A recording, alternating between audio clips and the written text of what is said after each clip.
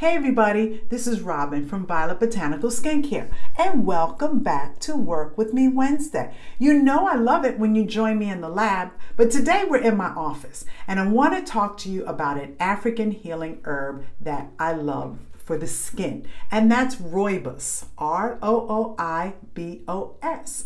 And it is grown exclusively in South Africa.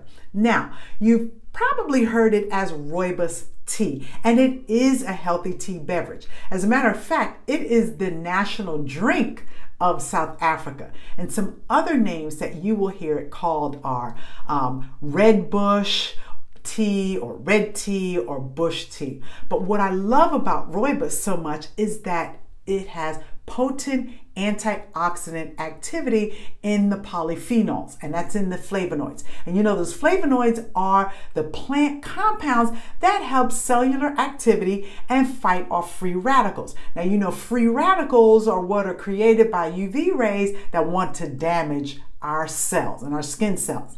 And they also have anti inflammatory activity. And anybody who has eczema, you know that that inflammation is an immune response to something that has irritated you. Uh, also has minerals. It has zinc, it has iron, it has calcium, potassium, magnesium, manganese. It also has vitamins, vitamin C, vitamin D. Rooibos is also antibacterial. Now, if you've ever had a wound or if you've ever had that eczema get infected, you know how important it is to have something that is antibacterial because then that helps with wound healing and pain relief.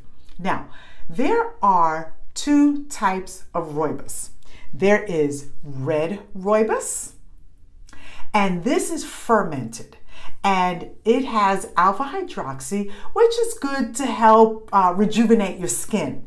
And then there is green rooibos. And green rooibos is unfermented. Now, don't get this confused with green tea because rooibos actually is caffeine free and rooibos has low tannins and it doesn't have that bitter taste. And green rooibos actually has more antioxidants in it. So, as I said, it is a healthy tea beverage. Now, when you drink rooibos, it's good for tension and allergies and digestive problems, but you can also rub rooibos on your skin and use it topically. And topically, it relieves eczema symptoms acne, sunburn, you know, those are all inflammatory activities. So, how I like to use it, I do drink it as a tea. And I also like to infuse it in an oil. And I'll either use it just as a straight body oil or I'll put it in like a body butter or, or cream and use it because then I know I'm getting antioxidant activity, I'm getting anti inflammatory activity, and I'm getting antibacterial activity. And for someone like myself who suffer with eczema, those things are very important to me. And so this is why I wanted to um, just introduce rooibos to you as an herb more than just a tea. So again, we have our red rooibos, which is fermented.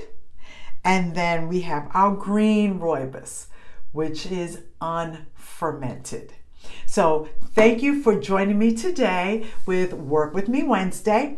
And if you like this video, give it a thumbs up, share it with a friend, and why don't you sign up for our newsletter? The sign up information is below. Sign up for our newsletter so that you'll get these videos each week plus other uh, fun uh, treats each week in your mailbox and that you won't miss any of these videos. So again, thank you for joining me and I will see you next week.